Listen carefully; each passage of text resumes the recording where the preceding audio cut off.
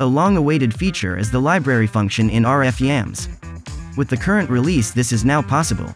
The RF::YAMS library function can be used to build up a new project by just using the models of the library via drag and drop.